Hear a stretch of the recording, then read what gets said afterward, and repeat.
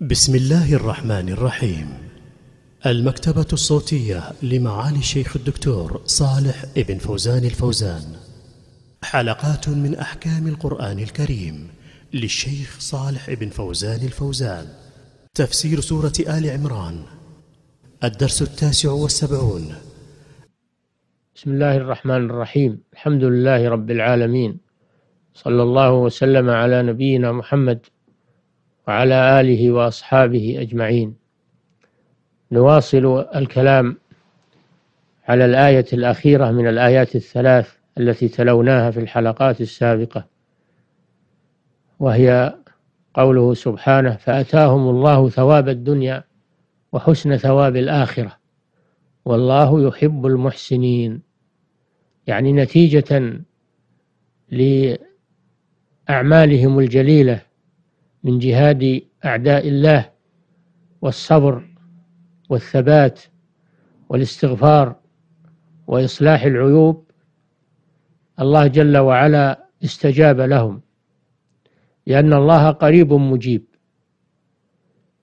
فمنحهم ما يطلبون.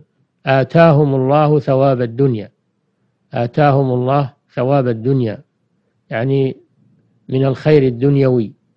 وذلك بالنصر والتمكين ووفرة الرزق والعز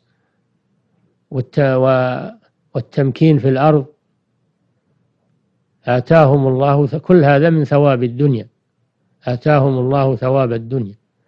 وحسن ثواب الآخرة أي وآتاهم حسن ثواب الآخرة فجمع لهم بين الحسنيين. ثواب الدنيا وحسن ثواب الآخرة. ولاحظ أنه مع ثواب الدنيا لم يصفه بالحسن وإنما وصف ثواب الآخرة بالحسن لأنه هو الباقي. وأما ثواب الدنيا فإنه مهما بلغ فإنه زائل فثواب الآخرة هو الباقي. ولهذا وصفه سبحانه بالحسن وحسن ثواب الآخرة. أي الدار الآخرة وذلك هو الجنة والدرجات الرفيعة. قد جاء في الحديث أن في الجنة مئة درجة. كل درجة ما بين كل درجتين كما بين السماء والأرض أعدها الله للمجاهدين في سبيله في الجنة مئة درجة. ما بين كل درجتين كما بين السماء والأرض أعدها الله للمجاهدين في سبيله. آتاهم الله ثواب الدنيا وحسن ثواب الآخرة. والله يحب المحسنين. ختم الآية بهذه الجملة العظيمة. وهي أن الله جل وعلا يحب. فالله يوصف بأنه يحب. وهذا حب يليق بجلاله سبحانه وتعالى كسائر صفاته. يحب المحسنين. الذين أتقنوا العمل. الإحسان هو إتقان العمل وإتمامه والإخلاص فيه لله عز وجل. وقد سأل النبي صلى الله وقد سأل جبريل رسول الله صلى الله عليه وسلم قال أخبرني عن الإحسان. قال الإحسان أن تعبد الله كأنك تراه فإن لم تكن تراه فإنه يراك. فالله جل وعلا يحب أهل الإحسان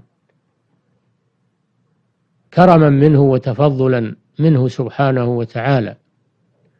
وحب وحبه لهم يقتضي أنه سيثيبهم الثواب الجزيل والخير الكثير منا منه سبحانه وتعالى. فهذه الآيات الكريمة الآيات الثلاث فيها فوائد عظيمة. يحسن أن نجليها حسب استطاعتنا. أولا في هذه الآيات تسلية أتباع محمد صلى الله عليه وسلم بما حصل لأتباع الأنبياء السابقين في الجهاد في سبيل الله عز وجل وأن هذا لم يحدث فيهم ضعفا ولا خورا ولا استسلاما لعدوهم وإنما وإنما زاد فيهم القوة والشجاعة والثبات وطلب النصر من الله سبحانه وتعالى. فهذا هو هو من أعظم فوائد هذه الآيات الكريمة.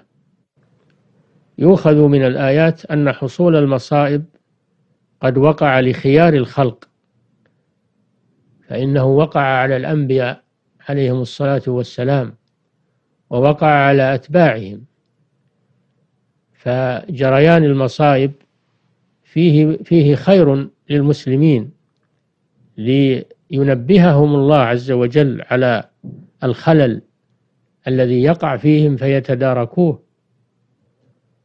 وأيضا من أجل أن يمحص ذنوبهم ويغفر لهم سيئاتهم ويكفر به عنهم.